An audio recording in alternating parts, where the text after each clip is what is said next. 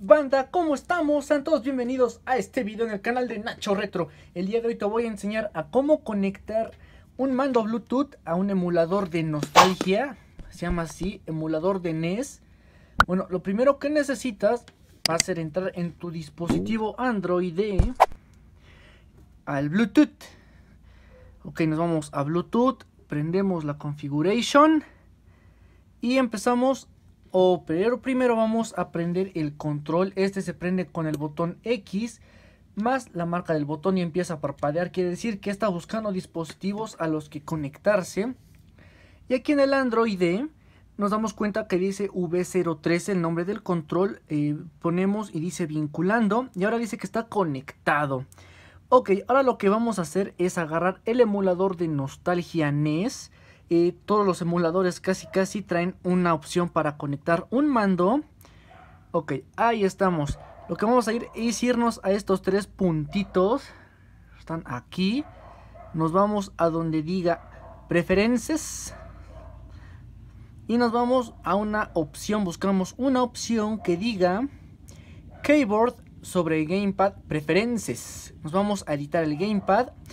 Y pues aquí puedes hacer lo que tú quieras. Por ejemplo, ahí vamos a presionar el botón A con el que nosotros eh, tú te sientas cómodo.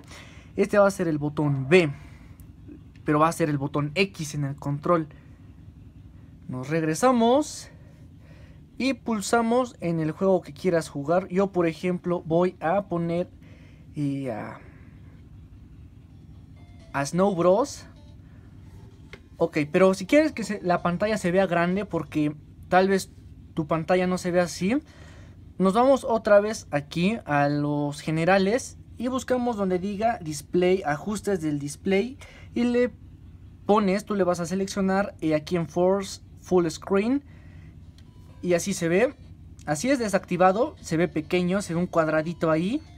Pero si le haces eh, la opción que te digo, Está por... ¿Dónde está? ¿Por dónde está? Aquí está. Pues lo vas a ver en pantalla completa. Ahora nada más es cosa de pulsar aquí un botón. Y seleccionar un jugador. Ok, estamos con todo. Creo que este es Start. Y así de fácil conectas un control inalámbrico Bluetooth. No es difícil. Además de que es genial jugar en Bluetooth. Bueno, con un control. Ahí está, matamos a todos los monos agarramos unos billetitos, unos fajos de dinero a start.